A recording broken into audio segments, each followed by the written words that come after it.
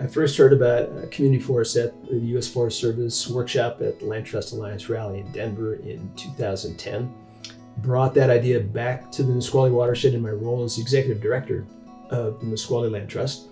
And then we worked with the National Park Service to set up a watershed wide uh, conversation about what might a community forest look like in the Nisqually watershed where would it be located? What would it do?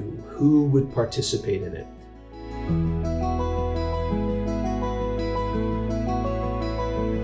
We're located right here along the Nisqually River at Frank's Landing. The Wa He Lut Indian School behind us. You can hear the kids enjoying recess today. My grandfather used to say that there used to be so many fish in the river that you could walk across their backs. And I think about that a lot, you know, and I hope we can get back to paradise on the Nisqually. Being a good steward and good partnerships, that definitely helps. One of our former council members, who's actually my cousin, is one of our master weavers. And he talked about how everything weaves together like a basket. And when you think about everything from the summit to the sea, it all ties together. And that's the community forest. It all ties into the big picture of what the Nisqually tribe is doing and that is protecting all of the resources up and down this river. They're the lead entity for salmon recovery. They were one of the ones that identified some of the issues that were ongoing for steelhead in particular and also Chinook. The Nisqually Community Forest is really a story of partnerships. One of those great partnerships is with the Nisqually tribe.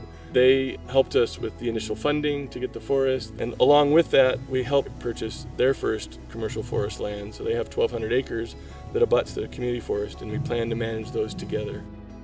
We're up here at 4,500 feet elevation, right in the headwaters, where every drop of rain and every bit of melting snow, that water then flows downhill and becomes the Nisqually River and these areas that are so critical to salmon. And it all starts with how this landscape is managed, whether you have conditions that are not favorable for salmon flowing downriver or conditions that have cold, clean water. When we've done our recovery plans to bring salmon back, both as a region and locally, initially, a lot of the work around forest management was to prevent the future conversion of forests into things like housing or parking. And all of that made a lot of sense because once you pave a forest, you can't get it back.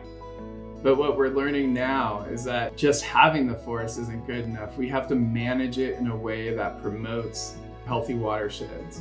And the current rules and regulations are not progressive enough to do that. And that's really what we're trying to do with the community forest from its inception as just an idea and a question about whether or not this is something we should do to now, I'm actually amazed at how many acres we've been able to acquire and the quality of the management plan that we have and the fact that we are getting these really positive environmental outcomes in addition to being able to send truckloads full of logs to the local mills and employ local loggers. Prior to the acquisition of this land by Nisqually Community Forest, it was an industrial plantation so the trees were replanted really densely and a lot of natural ingrowth happened.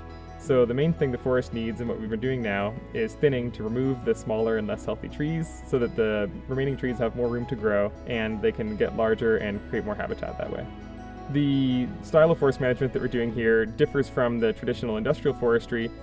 By thinning it, you can get some revenue now and you can get more revenue sooner. Within 10 or 20 years, you can come back and do another thinning, and it's still forest. It's still cooling the waters, it's still visible from the highway for people going up to Mount Rainier. It's still usable by skiers and by mountain bikers. There's a lot of value in having that forest beyond just the lumber. It's really neat to be able to work with Nisqually Community Forest because they are balancing the local economy and creating jobs and creating wood products with things like recreation and habitat. They're doing that in a really interesting way.